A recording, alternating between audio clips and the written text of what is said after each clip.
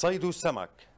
مهنة قديمة ومتوارثة في مدينة طرطوس يمارسها البعض كمصدر رزق دائم وحرفة يومية والبعض الآخر كهواية. وتتنوع طرق صيد الأسماك من صيد المراكب إلى الصيد بالصنارة والشباك وطرق أخرى متعددة. اليوم مثلا الأحفاد عم يمارسوا المهنة. في تعددت كثير بين مراكب بين شباك بين نحن بحاجة بس بأمر واحد هو لنحافظ على الثروه السمكية ونحافظ عليه الاجيال القادمة. الاهتمام بفتحات الشباك إنه تكون منها كبيرة كثير خاصة بالموسم الحالي اللي هو موسم إباضة الأسماك.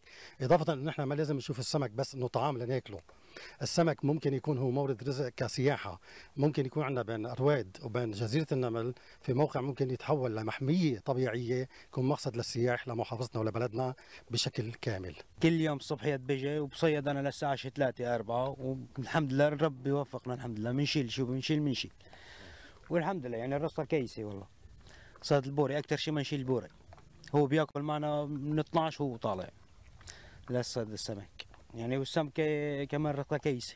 بجوز بساعة ساعتين ثلاثة بجوز النهار كله ما تشيل. بس بدها صبر أكثر شيء صيد السمك.